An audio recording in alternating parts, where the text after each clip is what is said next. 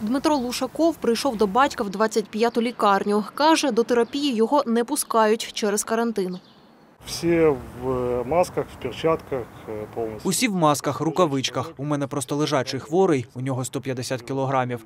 Я періодично приїжджаю до нього із їжею і все інше. Ну не знаю. Ми потрапили просто коли почався карантин. Провідати дружину після операції прийшов Геннадій Бушкет.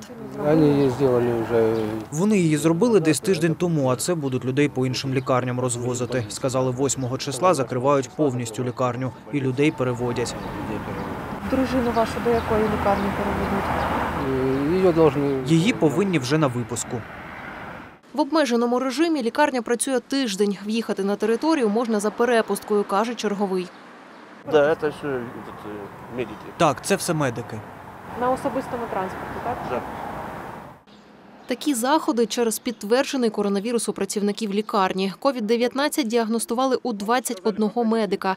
20 з них контактували із хворим на коронавірус пацієнтом терапевтичного відділення. Ще один випадок з хворим пацієнтом не пов'язаний, розповіла телефоном завідувачка відділення особливо небезпечних інфекцій лабораторного центру Ганна Сухорукова. Чи тестували інших працівників лікарні та самих хворих на наявність ковід? Питаємо у головного лікаря В'ячеслава Вакуленка. Відповідати він відмовляється. Та хай знімають. Ну що тепер? Лікарня поки не прийматиме ані планових хворих, ані тих, хто потребує невідкладної допомоги. Госпіталізованих мають виписати або перевести до інших медзакладів, розповів телефоном очільник міського департаменту охорони здоров'я Юрій Сороколат.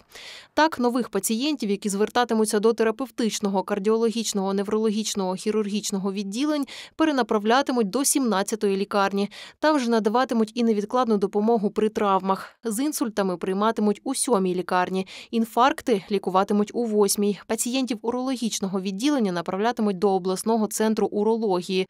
Отоларинголог прийматиме у 30-й лікарні. Світлана Стеценко та Антон Калита. Новини на Суспільному. Харків.